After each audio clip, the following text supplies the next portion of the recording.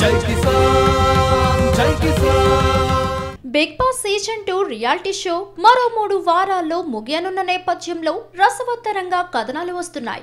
విశ్లేషణలు చేస్తున్నారు. కౌశల్ ఆర్మీ పనితీరు మీద కూడా వ్యాఖ్యలు వస్తున్నాయి. ఈ వారం కౌశల్తో పాటు శ్యామల దీప్తి అమిత్ నామినేషన్స్లో ఉన్న సంగతి తెలిసిందే.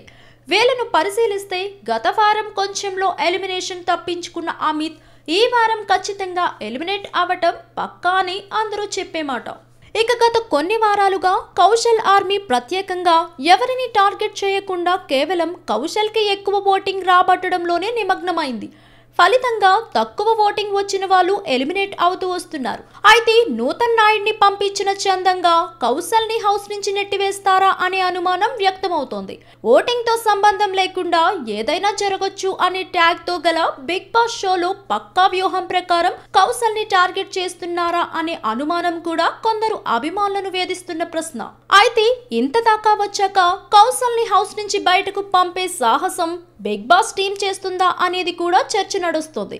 ఒకవేళ బయటకు కౌశల్ కనుక పంపిస్తే ఇక బిగ్ బాస్ షో పని అయిపోయినట్లేనన్న టాక్ కూడా నడుస్తుంది. కౌశల్ గల ఫ్యాన్ ఫాలోయింగ్ ఓటింగ్ అంతా ఇంత కాదు. నిజానికి కౌశల్ ఆర్మీ వాళ్ళని బిగ్ బాస్ సీజన్ టూ షోకి విపరీతమైన క్రేజ్ వచ్చిందన్న విషయాన్ని కొందరు ఈ సందర్భంగా గుర్తు చేసుకున్నారు. అన్ని పరిశీలిస్తున్న బిగ్ బాస్ టీం ఆచితూచి వ్యవహరిస్తుందే తప్ప ఏదో తూతూ మంత్రంగా వ్యవహరించబోదని కౌశల్ని ఎట్టి పరిస్థితుల్లో బయటకు పంపే యత్నం చేయబోదని కొందరు బల్లగుద్ది మరి చెబుతున్నారు. చూద్దాం మరి ఏమి జరుగుతుందో. ఈ వీడియో మీకు నచ్చినట్లయితే లైక్ చేసి మీ ఫ్రెండ్స్తో షేర్ చేయండి.